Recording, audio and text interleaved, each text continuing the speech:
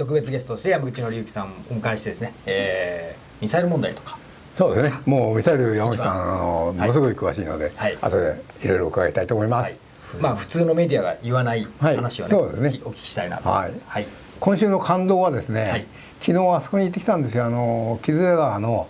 社会復帰なんだっけ、えー、促進センターってね、まあいわゆるあの、えー、刑務所なんですけど、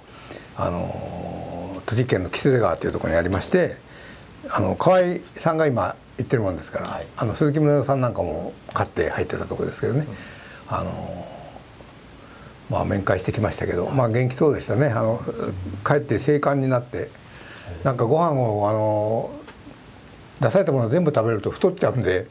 食事制限してるってだから今のあのああいうとこ待遇がいいなと思いましたけどね。みんな痩せるってイメージですか？いやなんかね、はい、あの出されたものみんな食べてると太っちゃうんですって。今図書係だからね彼は。あの例の「ショーシャンクの空」と同じですよ、はい、なるほど、はい、図書係であのって本はものすごく本が読めるから、まあ、その点だけはね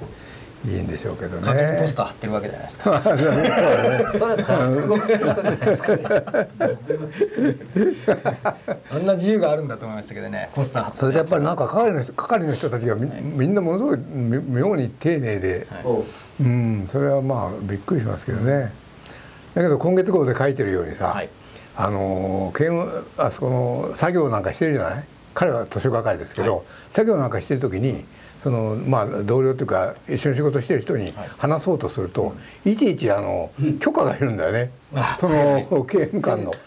まずこう手を挙げて「で可愛い」って言うと「えー、とちょっと誰それと話をしたいです」って言うとあのこっちの人がまた手を挙げて話をしますって言うと。よしって言って話が始まるっていうの。あれ面倒くさいよね、はい、なんであんなことやるのか。よくわかんない。に出た時にまずい癖として残るっていうことで。あそうか。相当まあ先週話した通りですよ。それこそ「ショーシャンクの空に」でも、はい、あのその図書係だった人がね、はい、お年寄りが、あのまあ、釈放されて、えーあのスーパーで、にあのあそうでしたね。それでトイレ行くたびに手を挙げたら「いちいち手挙げんじゃねえじじ」って言われるシーンがありましたよね。そうそうそう。そうそうですよね。でもでもまあ元気そうであの本当になんていうかなあれなんていうか交流期間全然引かなかったっていうのがひでえなと思うんですけどだって1年ぐらいあるんですよ、あれ1年引いたら3年だから2年で済むんですよ。ちょっとその優秀だったら少し短くなるから1年半ぐらいで済むのにさ、全然引かないっていう理由が分かんないんだよね。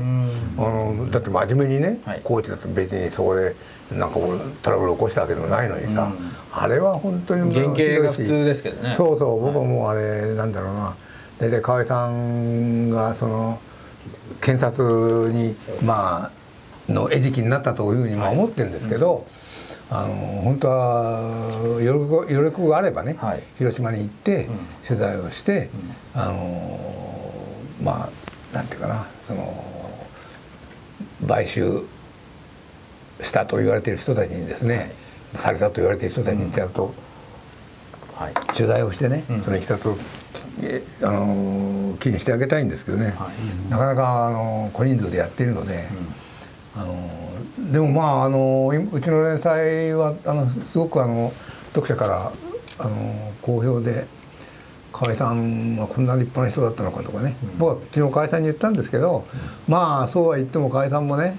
あの順調にまあこう来ていて、あの大臣になってねまあほらその後であの、えー、結構傲慢だったとかなんか言われたじゃないですか、うん。はい、でそれはまあ彼自身も中で反省してましたからね、うん、まあ人間が一回り大きくなってまあ2年後にですね出てくればまた何でもできるよと若いんだからね、はい、って言ってきましたけど。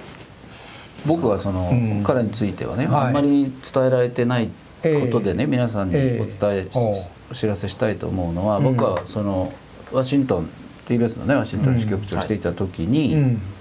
彼はその、まあ、安倍政権の中で、はい、まあ、総理補佐官、はい、外交補佐官ね、一応一応表向き文化担当補佐官。でも実質も外交密使として、そうですね。えっと何回だったかな、うん、30回以上あの、それで、えー、安倍さんの親書、極秘の親書を携えて、主にバイデン副大統領の、オバマ時代えオバマ政権時代のバイデン副大統領の今バイデン政権の安全保障担当大統領補佐官をやっている人、これと非常に親しくなって、えー、日本とアメリカ要するに安倍政権とオバマ政権オバマ大統領非常に難しい神経質な人でねそれをうまくつなぐ重要な仕事をしてたんです、ただそれは彼はその密使だから、表で喋れないんです、ね。はい、ただ僕はそのまあ比較的ななんていうかなその経緯を知ってたのと、まあ、あまりベラベラ喋らないということで河合さんはアメリカいらっしゃるたんびに僕に会って、うん、えー、そのいろんなやり取りをしたんですね。その時にやっぱりすごく真面目だし、うん、えー、その自分がに与えられたことについては一応そのアメリカ日誌みたいなブログで書かれてたけど、うん、これ自分が宣伝するようなことはね一切書けない今、うん、でそういう中で国家にとっても非常に重要な役割を果たしてた時期があるってことはね、まあ、ご自身がお出になっておっしゃるのかもしれませんけど、あのそういうだから狙ったとは思いませんけど、あの日本国にとってねあの重要な働きをしていた時期が結構長かったよってことはね、はい、あの強調しておきたいと思いますね。河合さんから聞いたんで、うん、あのさすがだなと思ったのは保釈ね1年間ぐらい勾留されて保釈して出てきたらすぐに安倍総理から電話があったと、うん、安倍総理の方からね、うん、それであのまあ彼は一番アンリさんのことを心配してるわけですよ、うん、そのアンリさんああいうことになってね、はい、でいやアンリさんは大丈夫だからと。あのちゃんとやっていけるから大丈夫だって言ってこう励ましてくれたってんですよね。だから安倍さんも偉いなと思ってね、はい、そういう時にね、すぐ安倍さんの方からね、はい。あの河合さんが電話したんじゃないんだよ、うん、安倍さんの方から電話かかってきてね、はい、そういうことを言われたっていうのは、ね、やっぱりそれは本当にあの先週も言ったかもしれないけど葛西さんが、うん、あの亡くなって、うん、そのいわゆる死亡記事みたいなのがあるじゃないですか、その時そこに朝日新聞にその葛西さんのことが書いてあって葛西さんと安倍さんがなんでそんな親しいのかということを朝日の記者が聞いたんですね。そしたらその葛西さんがまあ、要するに朝日の記者はその政治的信条が似てるとか何かいうことを期待して聞いたらしいんだけど聞いた聞いたと思うんですけどそうじゃなくてウォームハートだということをね、はい、あ安倍さんはねすごくあの温かい人なんだっていうことをねウォームハートだって言われたっていうのが、まあ、書いてあってね、朝日もたまにはいいこと書くなと思いましたけどね。はい、はい、それでその安倍さんがその河合さんに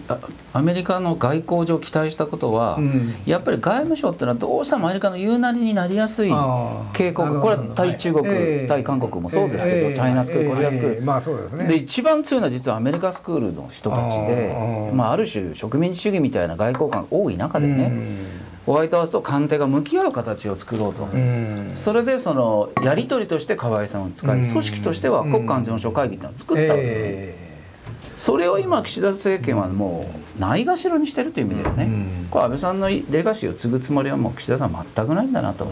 まあ河合さんについて言えばもうそういうアメリカと日本がまあその親子から兄弟、兄弟から同盟に進化させていこうという努力の一端を河合さんになってたってことはね、まああえて強調したいですけどね。